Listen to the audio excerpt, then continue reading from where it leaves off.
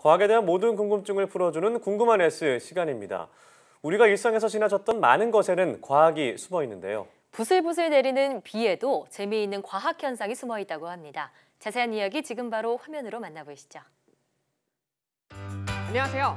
과학의 모든 궁금증을 해결하는 궁금한 S의 이호종입니다. 궁금한 S와 함께할 오늘의 이야기 만나볼게요. 여러분, 비 내리는 날을 좋아하시나요? 비가 내리는 날엔 노릇노릇하고 바삭한 전이 생각이 나요. 상상만 해도 입안에 군침이 싹 도네요. 그런데 여러분, 비가 내리는 걸 가만히 보면 로맨틱하면서도 여러 궁금증이 생겨나곤 합니다. 대체 저 비는 어디서부터 온 것일까? 어떻게 저렇게나 많은 물이 하늘에서 떨어지는 걸까?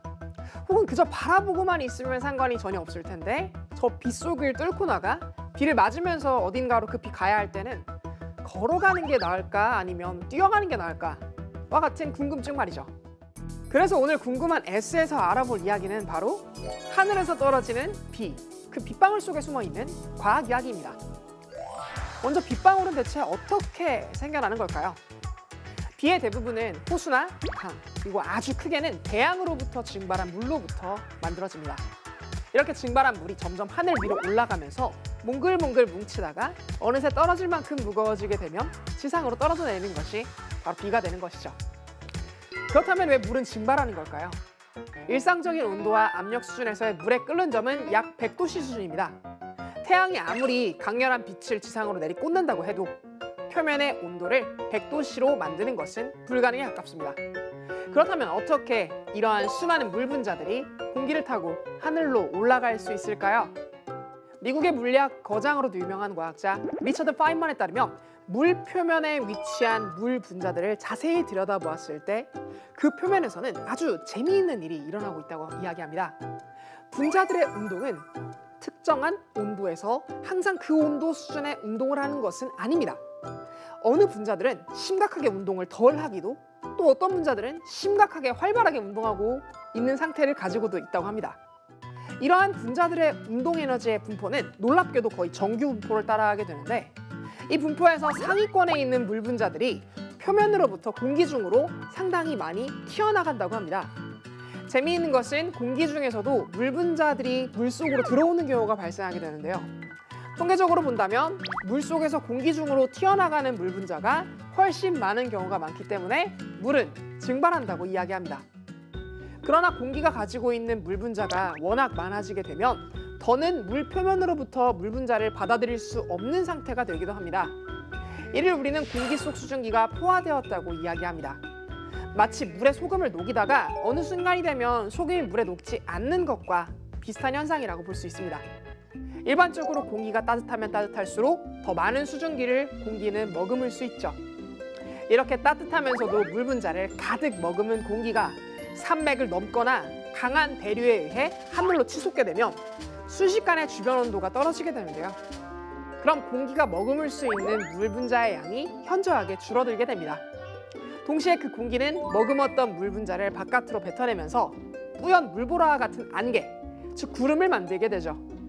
가끔 차가운 곳에서 안경을 쓰고 있다가 따뜻한 곳으로 들어갔을 때 안경 표면에 순식간에 김이 서리는 것과 같은 현상으로 보시면 됩니다. 보통 상공은 영하의 온도를 지니고 있는 것이 일반적이므로 금세 얼음 결정과 같은 모습으로 존재하지만 말이죠. 그런데 머금었던 물 분자가 너무 많았던 경우에는 그 속에서 형성된 얼음 결정이 주변의 풍압의 요인이나 여러 요인에 의해서 사방으로 튀어나오게 되면서 몸집을 늘려나갑니다. 적정 수준이 지나 더 이상 구름 속에 존재할 수 없는 얼음 덩어리들이 지상으로 맹렬하게 떨어지게 되면 떨어지는 과정에서 얼음이 녹게 되고 이것이 바로 빗방울이 되는 것이랍니다. 자 그러면 이제 함께 생각해 봅시다. 비가 올 때 뛰는 것과 걷는 것 중에 어느 것이 비를 덜 맞을까요? 그런데 빗속을 빠르게 뛰었던 사람이라면 얼굴 쪽으로 빗방울이 튀는 걸 경험해 본 적이 한 번쯤은 있을 것입니다. 천천히 걸어가면 위로밖에 비를 안 맞는 것 같은데 뛰면 앞에 있는 비도 맞는 것 같단 말이죠. 그럼 어떻게 해야 될까요? 그 답에 대한 비밀은 아주 간단한 모형 실험에 있습니다. 여기 쿠키와 S가 있습니다. 소나기가 내리고 있는 어느 날 쿠키와 S는 맛있는 사탕을 먹으러 매점으로 향합니다. 그런데 이때 우산을 깜빡했다고 가정해 봅시다. S는 전속력으로 매점을 향해 달립니다. 쿠키는 양반이 되어 그럴 수 없다는 이야기와 함께 매점을 향해 천천히 걸어갑니다. 두 상황에서 누가 더 비를 많이 맞았을까요? 쿠키일까요? S일까요? 바로 답하기는 좀 어려우시죠? 그럼 재미있는 상황을 생각해 보겠습니다. 여기 막대기가 있습니다. 이 막대기가 A로부터 B까지 움직인다고 가정해 보겠습니다. 그 사이 이 공간에는 비가 오고 있다고 하면 이 막대기가 A부터 B까지 움직이는 동안 지나친 면적, 즉 지나친 공간 안에 있는 빗방울은 무술 방법을 동원한다고 해도 어쨌든 맞게 되어 있습니다. 그렇다면 중요한 것은 하늘에서 내려오는 빗방울을 덜 맞는 것일 텐데 이것은 자연스럽게 비에 노출된 상태로부터 비를 피할 수 있는 곳으로 얼만큼 빨리 도달하는 것과 연결됩니다. 다시 말해 여러분의 생각 그대로 걷는 것이 뛰는 것보다 훨씬 비에 노출된 시간이 많기 때문에 비를 훨씬 더 많이 맞게 되는 것입니다. 오늘은 비와 관련된 소소한 과학 이야기를 함께 알아보았습니다. 빗방울은 일상 속에서 너무나도 자연스럽게 만날 수 있는 존재이지만 한 번쯤은 이렇게 진지하게 고민하면서 빗방울에 숨어 있는 또 다른 호기심을 찾아보는 것도 재밌지 않을까 싶네요. 그럼 궁금한 S는 여기서 이만 인사드릴게요. 과학에 대한 궁금증이 있다면 언제든 유튜브에 사이언스 투데이를 검색해 주세요. 이상 궁금한 S였습니다.